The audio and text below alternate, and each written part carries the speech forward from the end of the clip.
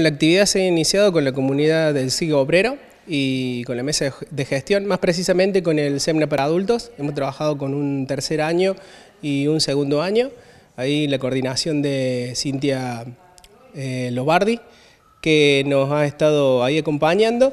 Y hemos iniciado con unas charlas y unos debates sobre cómo se desarrollan las actividades en el SIC, eh, cuáles las funciones de la mesa de gestión y también esto de participar en un secundario para adultos de, los participantes.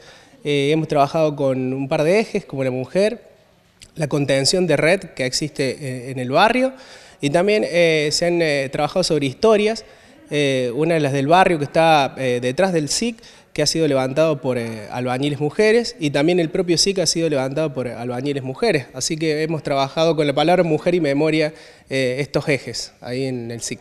En cuanto a intervenciones y propuestas artísticas, ¿qué se ha iniciado? Bueno, como te digo, se inició ese primer encuentro el 18, el viernes 18, y empezamos eh, la muraleada con los vecinos el día 25. Eh, está, eh, el mural está sobre una de las paredes que funciona como Zoom y también está la eh, panadería que ha sido un proyecto participativo en el 2017 y ha empezado a funcionar en el 2019. Propuesta también de mujeres del SIC, así que tiene una panadería que se llama Pan Amigo, ahí estamos trabajando con la imagen de mural, la hemos estado haciendo el día viernes 25, donde han participado entre 45 y 50 personas de diferentes edades, y también han participado niños, hijos y nietos eh, de, los, de la comunidad del barrio obrero y comunidad del SIC.